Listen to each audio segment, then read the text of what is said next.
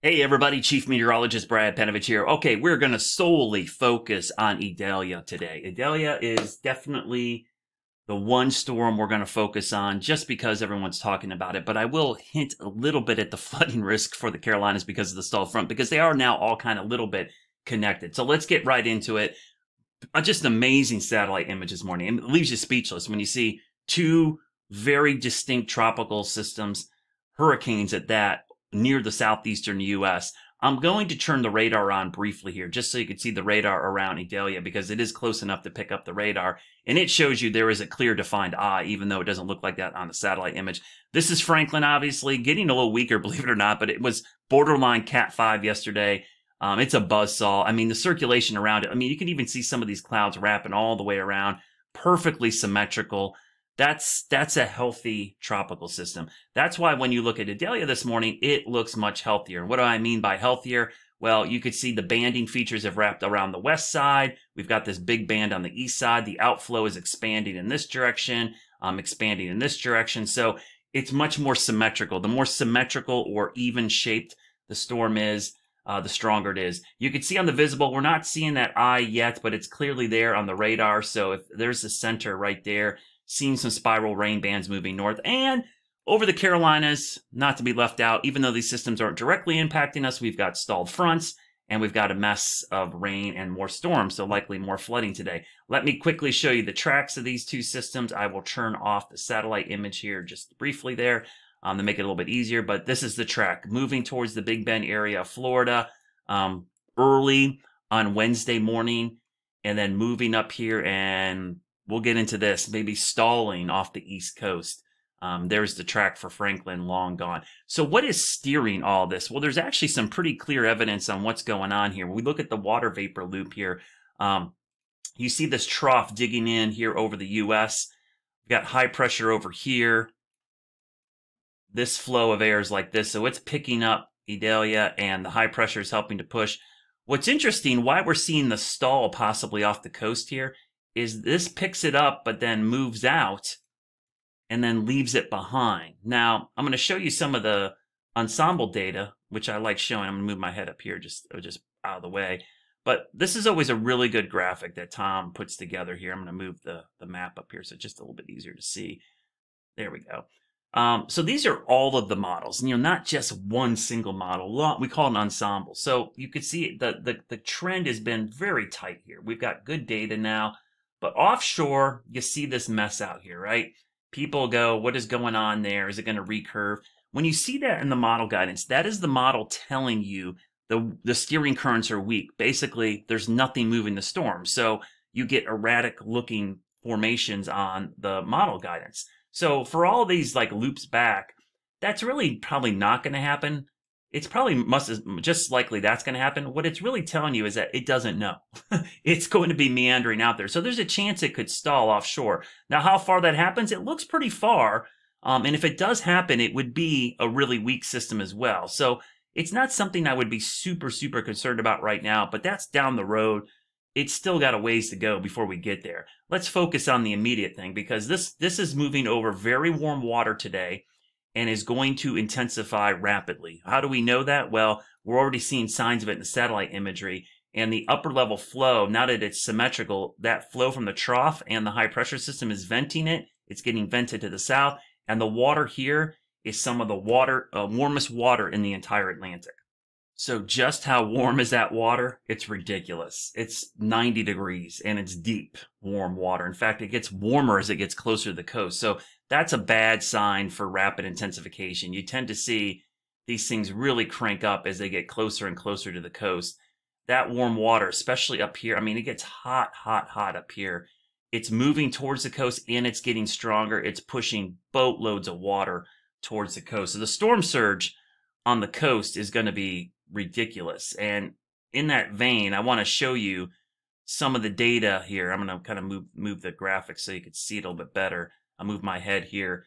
Let me go in and kind of show you the amount of water that's going to be pushed towards the coast from Tampa Bay all the way north.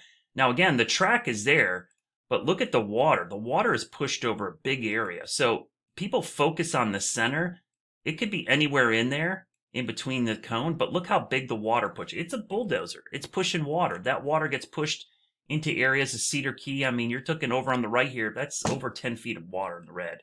Um, even in Tampa Bay, six, seven feet of water getting pushed into the bay. And then emerges off the southeast coast, and we've got big water in Savannah, Tybee Island, up to Charleston, and even the Grand Strand. Don't let your guard down there. We could see some significant water push as well. So the water is the story with this system, and it is going to push a whole bunch of that to the north and east. In fact, let me show you all these storm surge products. So this is the most up-to-date storm surge product. You can see, you know, 8 to 12 feet in that area in red, but look how big the area is impacted by the surge. This is why, I mean, I, will preach this again and again and again. Ian was a horrible situation last year and people just don't, didn't take this seriously enough or they thought they had to be in the cone or near the cone and it doesn't matter. I just, uh, if we could reiterate one thing over and over again, the cone is where the center of the storm is. It is not where the impacts are. Okay. It's like tracking a Mack truck and everybody's focused on where the hood ornament is and not where the entire car is or the truck. Okay. So imagine going, oh, I'm not going to be hit by the hood ornament of this Mack truck. But yeah, you're going to be hit by the right side or left side or the wheels it's still going to get you. It's the whole thing you've got to focus on, not one little point in the middle of the vehicle, or in this case, the point in the middle of the storm. It's the whole storm, which is several hundred miles wide. So you want to be really focused on where these impacts are highest. Yes, they do shift based on where that center goes, but not as much as you might think, especially if you're on the right side or east side. So for everybody who, who watches in Florida, you know, if this shifts a little bit further north, it doesn't change this that dramatically. It has to shift like all the way up here for you to get into the three foot storm surge. It, it shifting to the north isn't going to get you out of the three to five foot storm surge. And then we see it moving up towards the Carolina coast and storm surge two to four. This is on top of the astronomical high tides. Full moon is tomorrow. Okay. It's a perigee full moon or what people jokingly call the super moon. It's the closest the moon is to the earth. The gravitational pull of the moon makes the tides higher. So even if this storm wasn't here, we would have flooding on the coast, likely some minor flooding, especially in low-lying areas and definitely in Charleston because of the king tides. But you put that on top of storm surge and waves and swells from these tropical storms and hurricanes, you're going to get really high water. So that's that's the storm moving in. Let's take a look at the wind speeds because we've got a pretty good wind swath here. People always ask about the winds this intensifying, that Big Bend area, Florida right there. Let me see, I'm going to zoom in on Florida.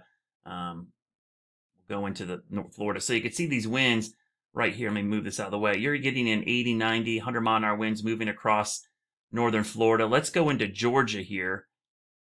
Show you southern Georgia. It's moving across southern Georgia. Then we'll go into South Carolina. And you can see the winds mainly offshore, and then we'll go into North Carolina here. So that's the wind speed off the North Carolina coast. So, you know, it pushes out there. Okay, so let's talk about this stall or the loop because I'm going to get tons of questions about this. I know from from people here in the Carolinas. We'll get into that. All right, so let's get into the question I've already gotten asked. Is it going to loop back, Brad? Is it going to come back at us? Okay, these are all I, they're valid questions. Don't get me wrong, but people overread these spaghetti plots and overread guidance. Um, as I mentioned at the start of this video, um, these are tightly clustered, right? All the way till here, and then they start spreading out. Initially, we had a bunch of these going out to sea. Some are going here, but yes, some are coming back this direction. So immediately, everyone ignores these and goes, look, it's coming back towards Florida. No, it's not. If they all were aimed back towards Florida, I'd be with you, okay? When I see them do this and spread, and by the way, some of the ones yesterday had it going all the way back here like this. They've already kind of gone away from that what this is, and this is how, this is how you have to be kind of know know what you're looking at here. Um, just because you can use or see the tools doesn't need, mean you know how to use them. This is a sign that the guidance is telling you something. It's telling you it doesn't know. Okay, it's telling you the steering currents are weak, and kind of like a cork or a boat going into a calm lake, it's just going to drift.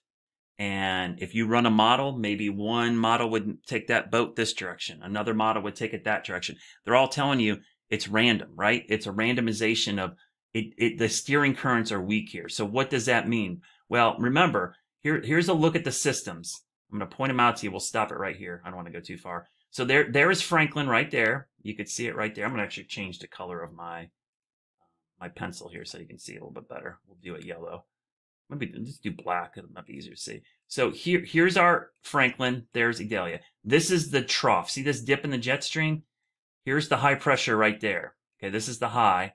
You see the flow around it. That's curving that way. This trough's going like this way. So, right? So immediately Franklin gets picked up because it's getting the squeeze play. It's getting shot out in that direction. Uh, Idalia's back here. So it's getting influenced by this trough and a little bit by this ridge. But what happens is, and you'll see it when I go forward here, watch what happens to Franklin moves out. The trough lifts out, okay? It clearly right here, this, this trough is grabbing it. There's the high. The high is right here. The trough is here. So, so Franklin's going to get picked up. That's, that's a slam dunk. But what happens is this trough moves out so quickly that it kind of misses and maybe leaves the remnants of Idalia behind. Okay. But if you look carefully, it's not much of a system. In fact, it, it, it, you can barely tell it's there, right? So here's the jet stream. The dip is up here. This, this ship has sailed and, and the GFS at least wants to leave it back behind. So it gets left behind. So it's not that it's getting pushed back towards Florida or back towards the coast. It just means the steering currents, there's nothing there. Look at the currents. They're very weak. It's just in a, in a no man's land. If anything, the high is right here, kind of, kind of drifting a weak high pressure maybe in here. Um, looks like there might be an upper low here. And then the jet streams like that. I mean, this is, that's a classic weak steering current setup, honestly. So if we go through time, you see it kind of sitting there just off the East Coast, just kind of waiting.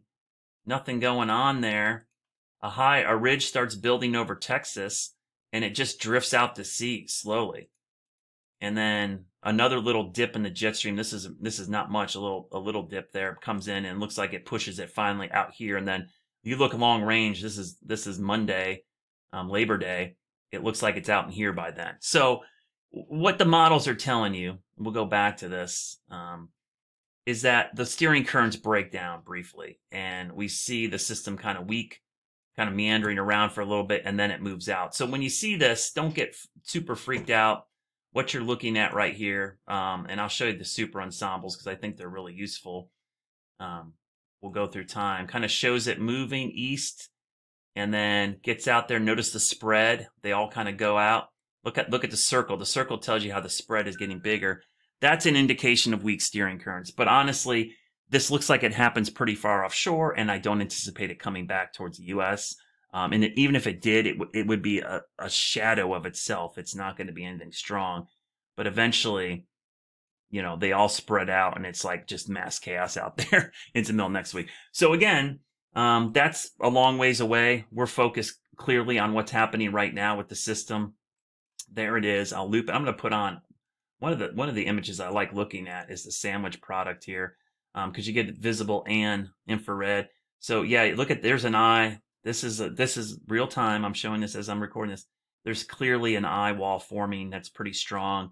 It's gonna. I I think all bets are on. It's gonna rapidly intensify. I don't see why it wouldn't. Um, it looks like that's gonna happen. So in Florida, you should be evacuated or activating your plans. You need to be acting right now, getting all your precautions done. In the Carolinas, this is going to be less of an issue. Big rain event. Um, that's the story for us. In fact, let me show you that rainfall total quickly.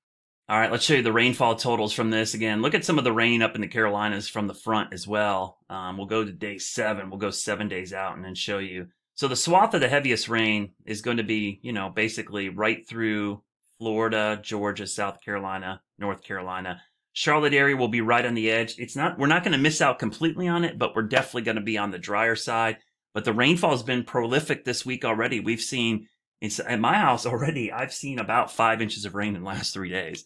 Um, now, good thing it's been spread out over those three days, but seen a ton of rain. So any more rainfall heading our way is going to cause flash flooding, even if it's from the front, which you could see the stalled front. We've got a big cluster of storms there. So in the Carolinas, just a heads up, we are going to see some heavy rain, and it may not always be directly associated with the tropical system. Um, I'll show you the, the, the heavy rainfall outlook for today. Let me turn the satellite off here real quickly. You see the heavy rainfall event. We're in the we're, we're in the risk, the medium risk today. Um, we will be in the medium risk to low risk and then the high risk along the coast. And then day three is Thursday. It's moving away from us. So it's going to be a soggy couple of days, everybody. Be weather aware for flash flooding. That is going to be our biggest issue over the next couple of days. There's our two systems. I'll move my head out of the way. Just impressive to see both of those off the southeast coast. I will post more updates. This was a long one, but there's a lot to break down, a lot going on. I will post another update this evening and, of course, updates throughout the afternoon and evening on all my social media channels. Please share with whoever you think needs the information. I love getting more followers and questions. I'll try to answer as many as I can.